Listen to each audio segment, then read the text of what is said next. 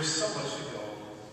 Uh, one of the things I really like about your gods is uh, is how exhausting they clearly find immortality. There, there's a re, there's, it feels very genuine how when they when they talk about the hundreds of years, the thousands of years, the grading the time takes on them, and it just it feels quite it feels quite genuine. Have, have, have you learned anything from the gods in the last ten years? Have, have you any new things from them? I, I get, I definitely, from the flip side of that is, I'm definitely somebody who is frustrated by the shortness of human life. I think it's ridiculous. um, you know, you, you, you're barely here, and then you're gone.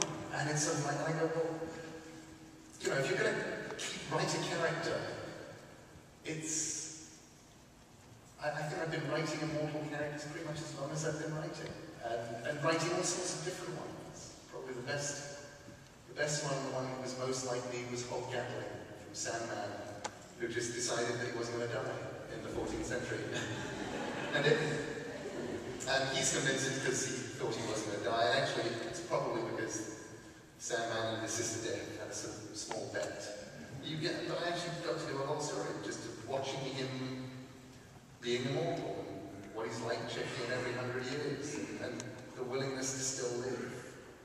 And um, I, I love life. I think life is such a wonderful, magical, peculiar, contradictory thing. And it's filled with stuff in it, and food, and books I haven't read, and, and music. And so It's just not enough time. there's not enough time. So I, I definitely, I think I, there, there is a certain amount of vicarious living where you can write somebody who was around and saw the planets and is still around. Um, but having said that, you know, in, in terms of have I learned anything new about the gods in the last 10 years, I've learned how easy it is to create them. Um, and I've learned how easy it is to create them in, in many different ways. I, I mean, that's, that little passage that I read was definitely not contentious when the book was published in June 2009. And these days I get lots of people walk up to me going, well, I'm a proper, I'm a pagan. I'm a proper pagan. And I know who Easter is. And actually, these are the people that I worship, and these, this is how I worship them. And I say, that's really good. um, and I think it's great. But I'm never quite sure how much that may actually have had to do with America. I, I, I suddenly go, if we were in a universe in which that book had never been published, would you be saying this to me? or would you be one of those nice people in, in you know, 2000 who would say, I would have that conversation. I mean, that conversation was one that I had over and over and over again with people. They would say, I'm a pagan. And I'd say, cool, what do you do? And they'd say, it's an economic with them. And I'd say, that's really cool. So, do you, do you get out there and do anything cool? They said, well, no, it's, it's about acknowledging the God is within your soul. And I go, no, no, just get out there.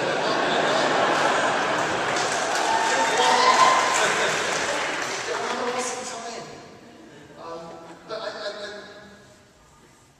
I, okay, so this is true.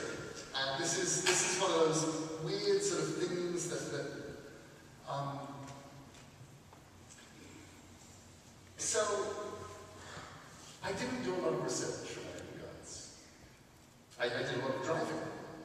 But where the gods were concerned, this was stuff that I've been reading since I was six or seven. Was seven, my favorite book was Roger Lancelyn Green's Tales of Ancient Egypt, and my second favorite book was his Tales of the Norsemen. It was only that way around because the Tales of the Norsemen belonged to Stephen Byrne down the road, and one day had to it back. But Tales of Ancient Egypt I bought with my own money, and I, I kept and still have. Um, so it was as if I'd spent most of my life researching. I knew who Czernobog was because I'd seen Fantasia and I knew that I'd heard and investigated enough to know it was based on something. I knew a little bit about Slavic gods, but I tried to do all of the research I could on Slavic gods and rapidly discovered that you actually wind up reading about three pages of stuff and that is all of the original material we have. Everything else is kind of made up. Um, there isn't a lot. Lots of stuff was burned, lots of stuff was thrown away, lots of stuff was never written down, and you have the Russian Orthodox Church who took enormous pleasure in making sure that we don't know very much about Slavic, ancient Slavic religions. Um, you know, there's Perun, who was a thunder god, who was of like Thor, there's this Isle of the Blessed, there's stuff. We have names, but we don't have what we have with the, with the Norse gods, where three or four people, Snorri and so forth, actually wrote stories down after the Christians had moved in, and we still have those, as a result of which we can understand. Uh, so a lot of that stuff is actually written um, to explain poetic metaphors. It, it was almost, they needed to put the stories down because otherwise the metaphors meant, made no sense. Um, they needed to know why gold was Freya's ransom or whatever, so. Um, so there wasn't an awful lot on, um, on, on, on the Slavic gods, but I found some stuff. I got a little frustrated because there were these two sisters, the Zoria, Zorya Vechernyaya and Zorya Utrennyaya, that the, the, the, essentially the, the aurora, the dawn of, and they're the dawn of the morning and the dawn of the evening. And I thought, you know, to get this thing properly rounded out, it'd be really nice if there was a third sister. I thought, so I think I'll make a, a, a late night one. It's not really, it doesn't really work with the idea of the dawn, you know, this is Zodiac's dawn, but, but it's the you know, sunrise, sunset, but I'm going to have another one to make up for the set. And naming her after um, an Iggy Pop song. I thought she'll be Sister Midnight. She'll be Zorya Polunochnaya. So I wrote her, and she's in my book. And now it's 10 years on. And if you go to Wikipedia,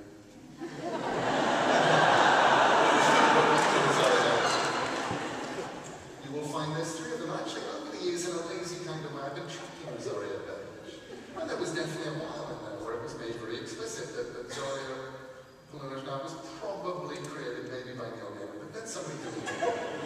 Um, and then somebody else found a reference to a book on gods and goddesses that talked about Zorya Polunochnaya, so referenced that. Now there are several of these things, and nobody actually pointed out the book was published after 2001. Um, so have this wonderful feedback loop in which anybody who goes and checks will check on Wikipedia, they will see that it links to real books. Those real books, you know, real people doing research on this stuff, which there isn't very much, will then go to either Wikipedia or one of these books. And there are definitely now, in every reference book you want to check, three Zarya. And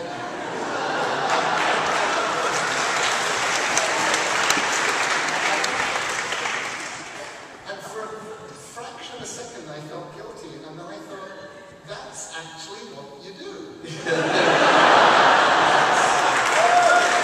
that's, that's where gods come from. That's they come out of your head, and they walk the earth, and enough people believe in them, and she's, she is believed in by... By all rights, at some point, she's going to show up and say, thank you. She absolutely...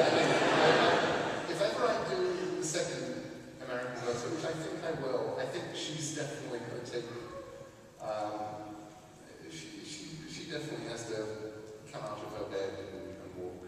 Now, I want to take, we're going to take some questions from the audience, but I have one last question, which is, through reading this and looking at the 10 years and thinking about, you're talking about the, your immigrant journey into America, it kept on being something that resonated in my head. And strangely enough, it was, it's Humbert Humbert and Lolita's Flight Through America by another immigrant mm-hmm. at Nabokov.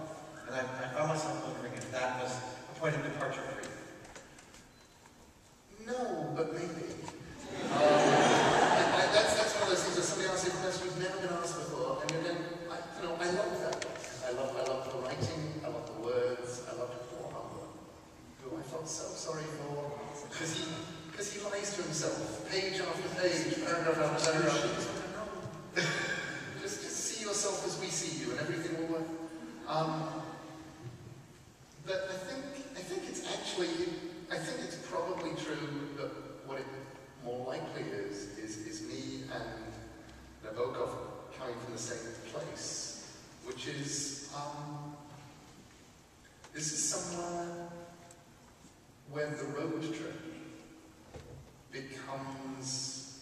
that there's something fundamentally right about going on a road trip in America. Um, I used to tell people that, the, the biggest difference between England and America is England has history and America has geography. Um, in England, if you want to find something, if you go back far enough, it's there. In America, if you want to find something, you just drive until you get there there is one of whatever you want, at least one out there somewhere. Um, so, and I think there's something that feels so right. You can't do a road trip story. You run out the road. it's an island. Uh, you, know, you Land's to John O'Groats, you're there. Um, so, so it, it's so different. Whereas America, the just for me, the idea of somewhere that you get on the road and you drive, and that night you stop in a motel, and the next day you drive, um, and you can keep doing this. It, it, it's it's amazing and it's strange and weird things happen to you. You run into odd stuff, and if you're me, you use you know, roadside America and things like that as a, as a hint of peculiar places to go. And it, honestly, it doesn't, it doesn't even matter if that or not. They're, they're still out there. They're still weird. Um. Portsmouth, New Hampshire. Three days ago. Ooh, a thing goes on missing, okay? I've landed at the airport. I am picked up, along with the publicist from, from our Harper's who's with me, and um, so we're picked up by a limo driver who is a little old lady. Nothing wrong with this. I can't see any reason why a little old lady should be a limo driver. She seemed very nice. But she was a little old lady who wasn't really. There were things she didn't believe in, in terms of getting from point A to point B. and she told us that she didn't believe in things like GPS systems. And she definitely didn't believe in things like printing out, you know, directions. Um, the hotel in Portsmouth, New Hampshire, was, as I discovered when I walked home from the uh, musical, back, walked from the musical where we were, where I was doing something kind of like this, um, back to the hotel. It, it was actually all of four blocks, and it took approximately six minutes to walk at a slow saunter. Her method did not involve GPS systems. Her method involved asking for directions and then remembering. and knowing that even if you can't actually remember when they said left and when they said right, you have a 50% chance of being right. Which is why it took us 45 minutes to get from the hotel to the musical.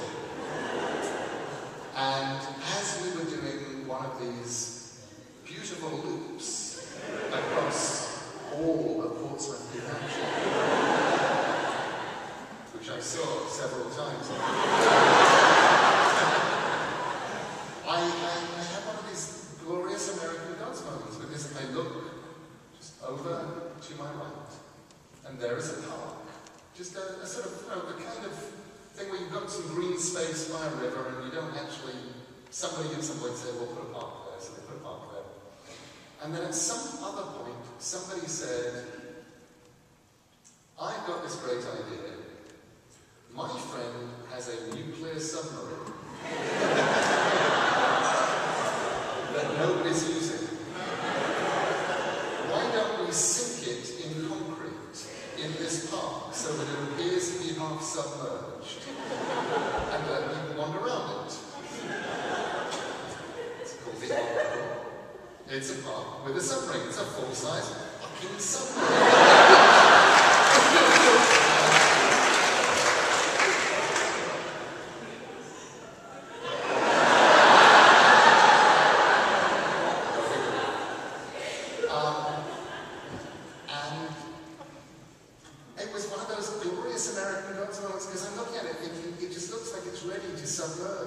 back down under the grass and take off. and and it, that, it's, you know, it was really seeing things like that and thinking like things like that that created the first book. It was this, you know, what did I do? I went out and drove. I, I, I kept telling people I had no imagination because they think that I've done clever things like make up the house on the rock. And if anything, I underplayed it. There were things I left out because I thought nobody's going to believe it if I put that stuff in. You know that uh, Kurt Vonnegut said that he felt that he should begin all of his books with the punchline of his favorite dirty joke, which was simply, keep your hat on, we might end up miles from here.